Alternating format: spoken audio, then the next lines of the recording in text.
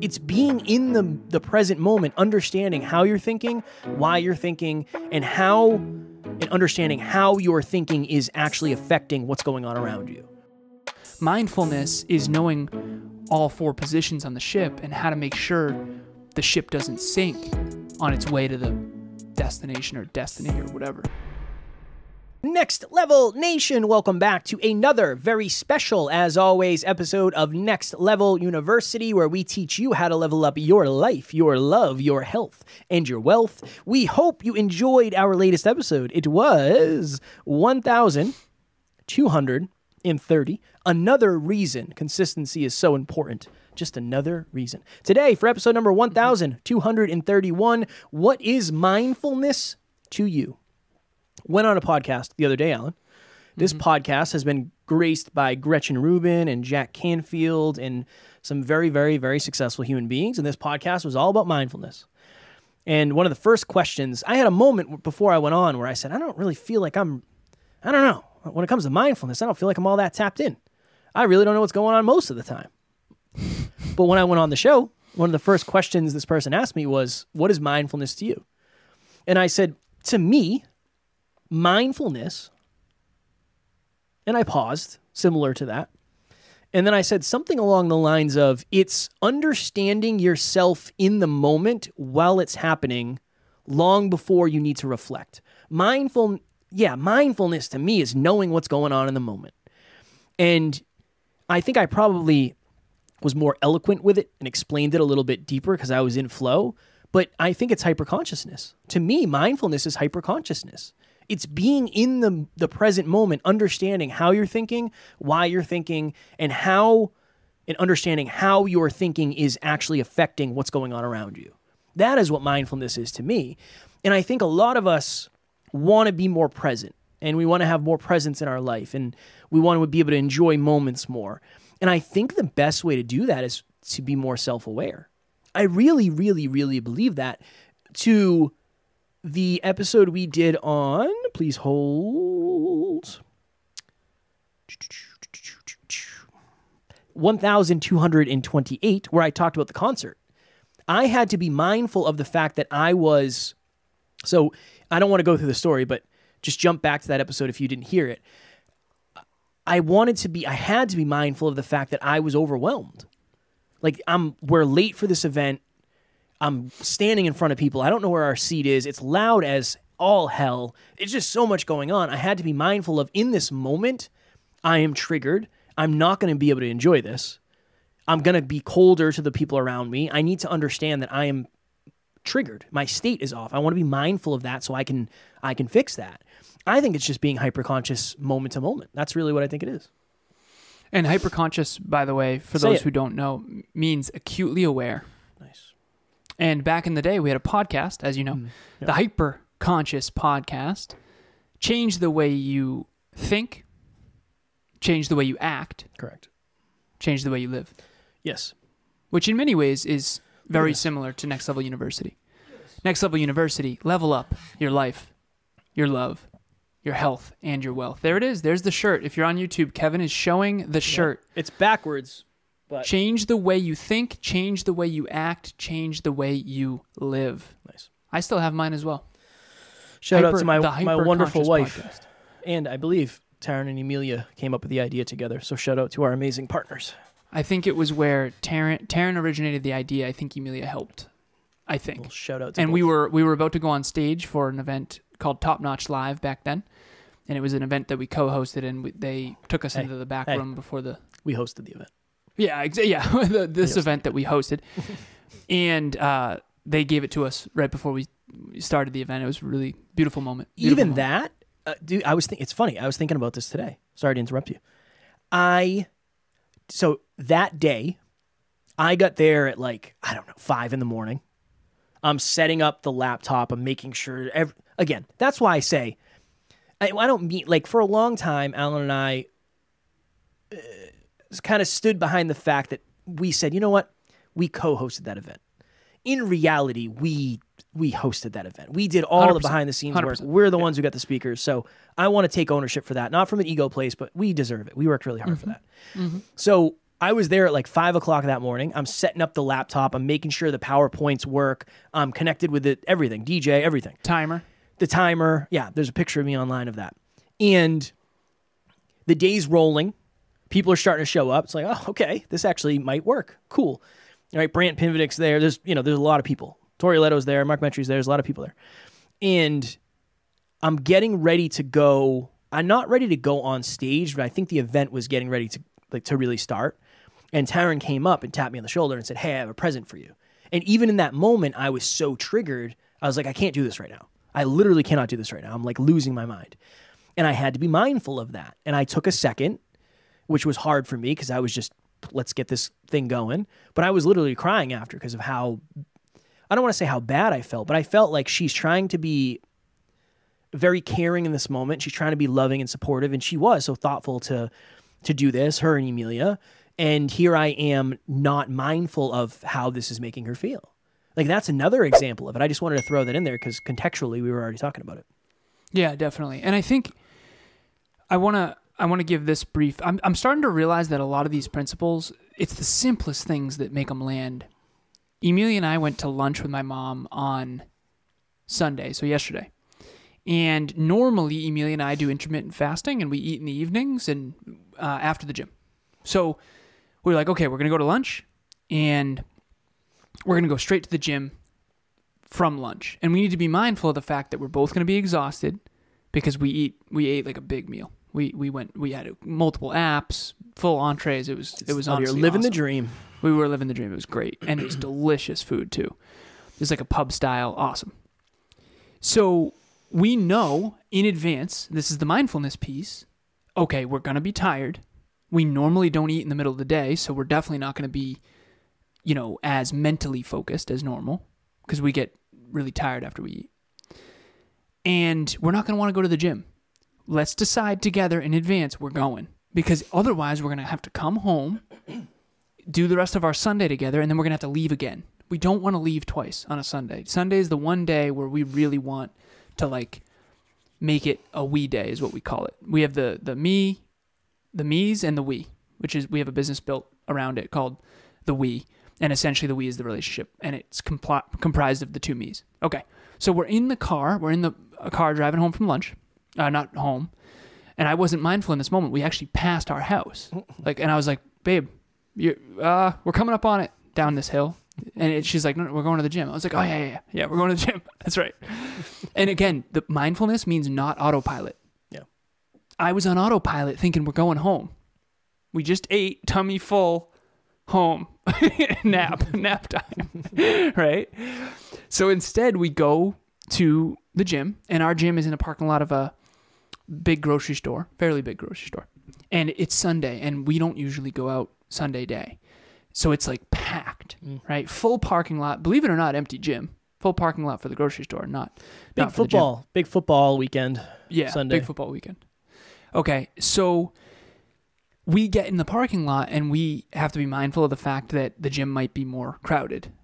And so uh, not only do we not want to go, not only are we exhausted, not only do we want to take a nap, but now we know the gym's going to be crowded and the equipment's not going to be there. Not to mention it's also still January of 2023, so there's a lot of more people in the gym typically. So, and we're sitting there in the parking lot and we're like the last thing we want to do is go into this gym. Usually it's pretty smooth sailing. Usually Emilia and I are gym partners. We we just get it done. It's no big deal. We sat in this parking lot for an obnoxious amount of time. I want to say 15 to 20 minutes just I don't want to say complaining about this. I would say venting about how and we were playful with it. We were having fun, you know, having conversations and and we were talking about at one point it was like we do not want to go. We we want we could and we we joked. We were like we could just go home. We could just go home, right, and regret it later. Let's just do that. Joking. We end up getting this awesome workout. And because I ate so much food, I actually had a really good pump. And I ended up being a lot stronger than usual because when I'm fasted, my strength is definitely taking a hit.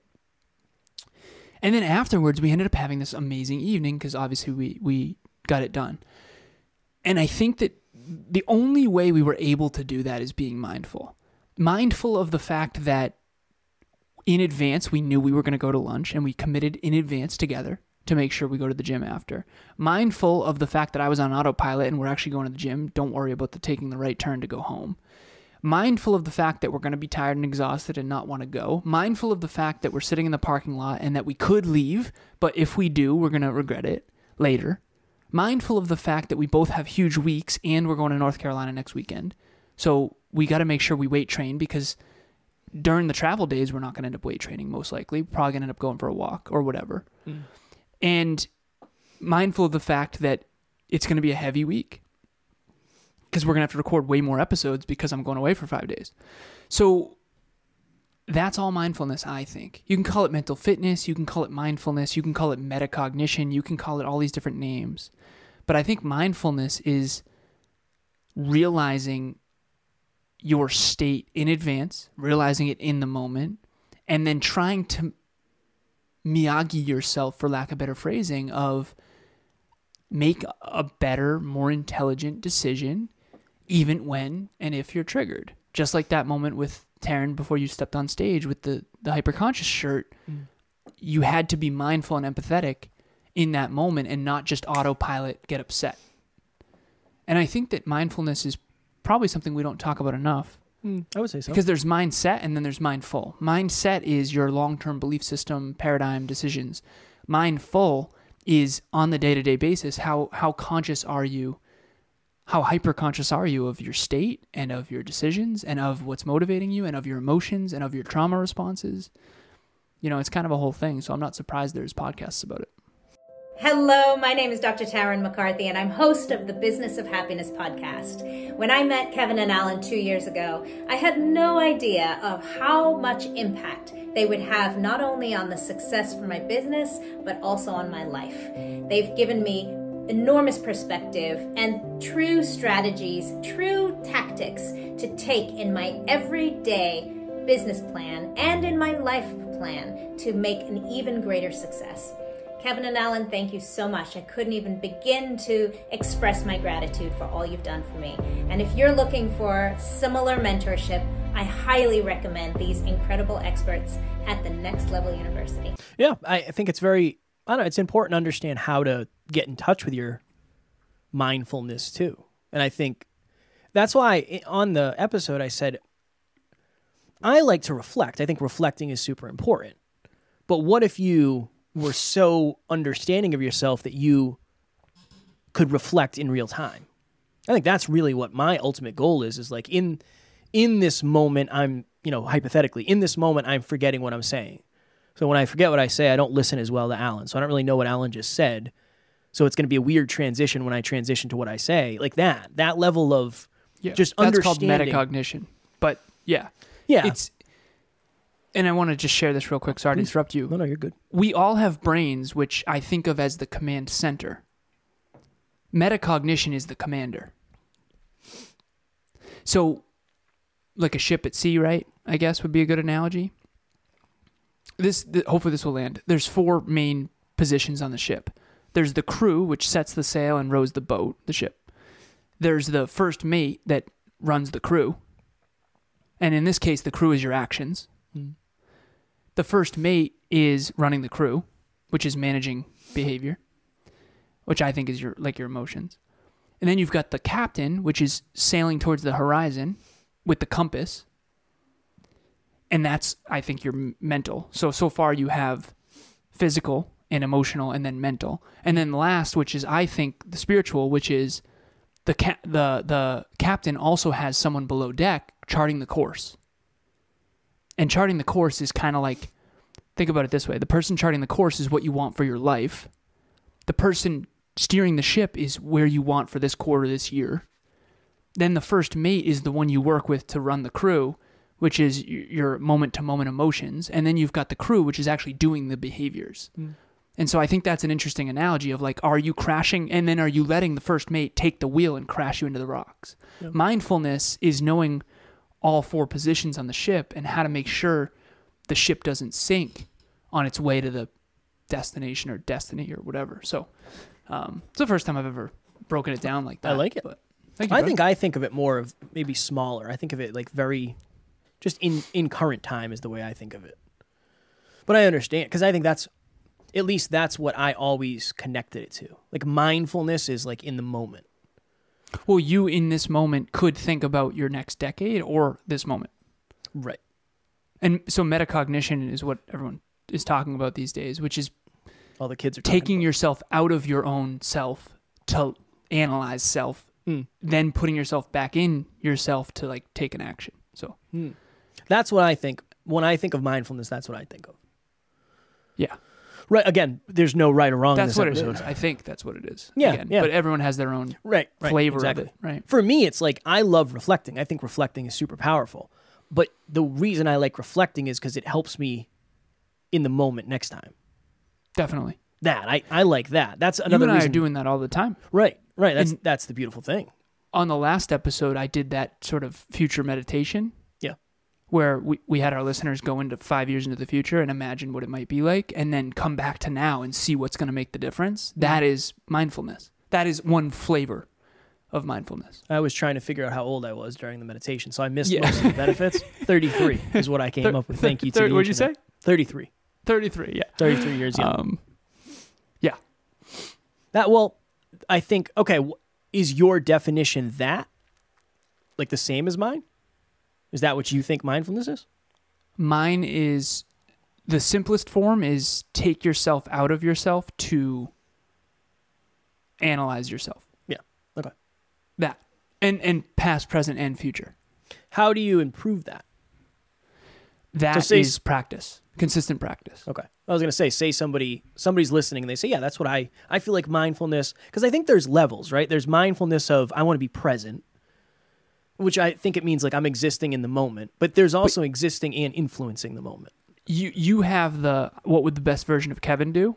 Yeah. That is a form of going into future Kevin not wanting to regret being lesser Kevin now. Yeah. So that's a form of quote unquote mindfulness or metacognition. Emilia is unbelievable at this. She we've never fought in the three years we've been together, never any yelling or any of that, storming out, nothing. And honestly, it's more because of her than me. Mm. And the reason why is she's more emotionally, she can take herself out of the moment better than I can and stop the train from going down the negative track. Gen- genuinely better. And I asked her recently, what's if you could slide one book across the table to your younger self, what would it be? For me, it would be The Compound Effect, 10 times course. out of 10. For her, it was, um, oh, it's the theory of const- emotional construction versus emotional I'm gonna forget. It's how emotions are made. The name of the book is How Emotions Are Made. I forget the name of the author, Mm. but I I haven't read it, and I was like, wait a minute, that's your most powerful book ever that you'd slide across the table, and I haven't read it. Like, that's a big issue. And she said, well, and of course, by the way, I said it's an ebook, emotional book, so of course that's I think physical, mental, emotional, spiritual development that we talk about on this podcast will go after this. I think emotional development is my least of the four. Mm. And so I think it's the most of her four, which is awesome. Um, which is why we don't fight, honestly. It's more her than me because she always stops the train long before it gets there. Whereas I'm still on autopilot, triggered. Not every time, but like sometimes. Yeah, know? I understand. I can Yeah. understand that. I think my my emotional is one of my stronger suits. Makes sense. Makes Right? sense. That's why we work so well M together. mental was the one that you were needed help, which is why the hyperconscious podcast was born because that's what you needed. Son. Yep. Son. Little did I know what I needed was the relationship podcast. And the Hyperconscious podcast because you and I partnered up, you know, kind of boys. Oh yeah, for sure. So that's what brought it- me to the to Emilia Right. That's what I'm saying. because she suggested an episode. Yeah, and we were like I was like, dude, you don't know what the hell you're talking about, man. You and you're like, no, that? no, no, I do. I actually know. I know what this person's asking. And I was like, oh, okay, never mind. After That was the only time I've ever understood our listeners. You were right. you. You were right that day. That one time. Lessons were learned, Yep. my friend. Little did I know that was my future wife. Yeah. I mean, we're not. I, whenever I say that, people are like, "Oh, you guys got married?" I was, no, no, no, future wife. I I understand because I know Yeah. I know the way you think. It's already it's already done. Okay, we're reminiscing. Yes. Um, if you're listening, what I would say is ask yourself the question that we asked ourselves: What is mindfulness to you?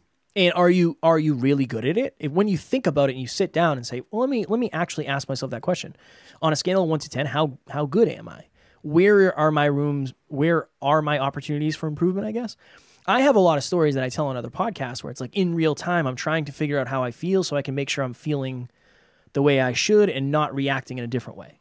So for me, I feel like it's something I'm very, very good at, but I also know when I get triggered, mindfulness can go out the window. So that's a good understanding for you to have. So if you're listening, ask yourself those questions and just check in. We don't talk about it probably as often as we should, and maybe this is a, a good segue for us to do it more. So maybe you i mean there's a lot of other podcasts that are specifically on that meditation is one of the reasons people meditate is for mindfulness so there's a lot of a lot of things to, to go about this but for me i'm going to say hyperconsciousness that's what i'm going to say you dig I dig.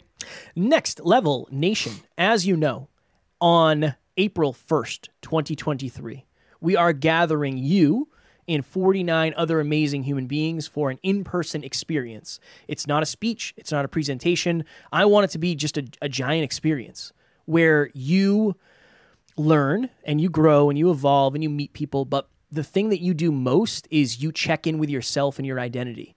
And that's the interesting thing about live events is when you come to a live event, you're already shifting your identity. I am the type of person who attends live events. If you've never been to one, you're already shifting yourself. So please join us. It will be in Worcester, Massachusetts, April 1st. Tickets are $97. We're only taking 50 people. We want it to be close. We want it to be personal. So please join us.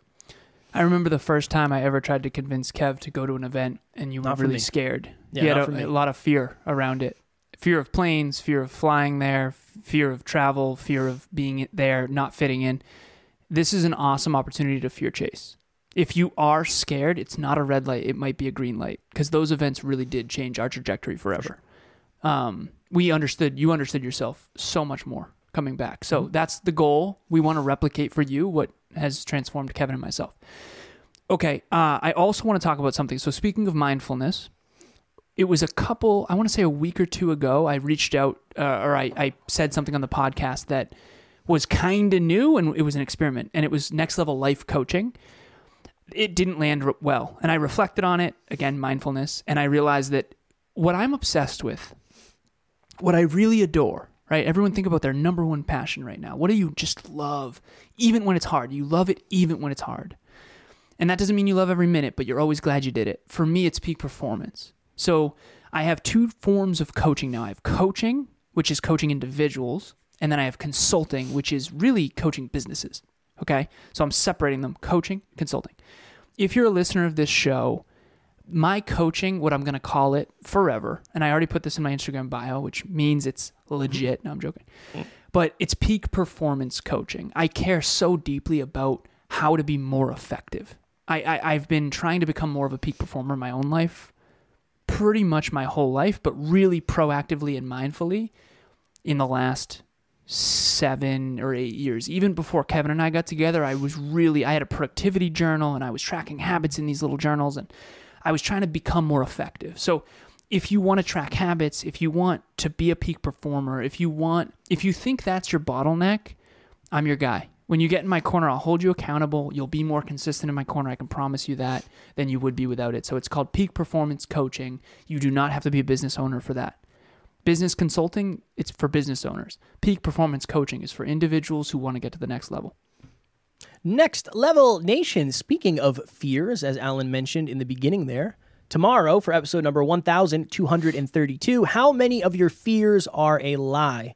I have a lot of fears that I'm currently facing and will be facing in the interim or the I don't know the upcoming future I guess. So I wanted to talk about fears. The last time we did an episode on fears, I think Alan, we were actually in Florida. So it is very timely that we do it again when you and I are going to be traveling. I'll be going further south to Florida, but I'm excited for that. As always, we love you, appreciate you, grateful for each and every one of you. And at NLU, we do not have fans, we have family. We will talk to you all tomorrow. Please reach out